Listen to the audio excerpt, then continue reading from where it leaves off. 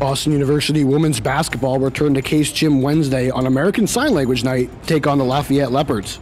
Lafayette took a first half lead led by standout sophomore Natalie Kucowski. Kucowski gets a little elevator screen, looks to work on Nelson.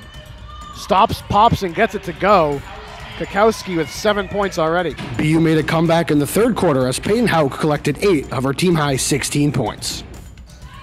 Becoming an annual tradition at the roof. Hauk gets her shot to go and the foul. Freshman Riley Childs collected a double double with 14 points and 13 rebounds.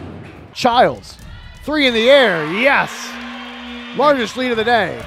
Spearman didn't even think about taking the three, but Childs will think about the jump shot. And that was a good thought because it goes in. Childs gives BU an 11 point lead. Lafayette had a chance to tie it at the end of regulation, but Childs did all she needed, getting her hands off a missed free throw to seal the victory. The Terriers moved to 10 and 6 in league play and 14 and 12 overall. They finished the season with a road game at Army before ending the regular season on March 6th against Loyola at the roof at Case Gymnasium. Our kids made some key stops when we needed to, especially that last rebound on the free throw. Um, but credit to Lafayette, they really took us to the wire. Um, but I'm proud of our kids, especially that third quarter. But uh, we got to score more than six points in a quarter to finish it out, especially on our home court.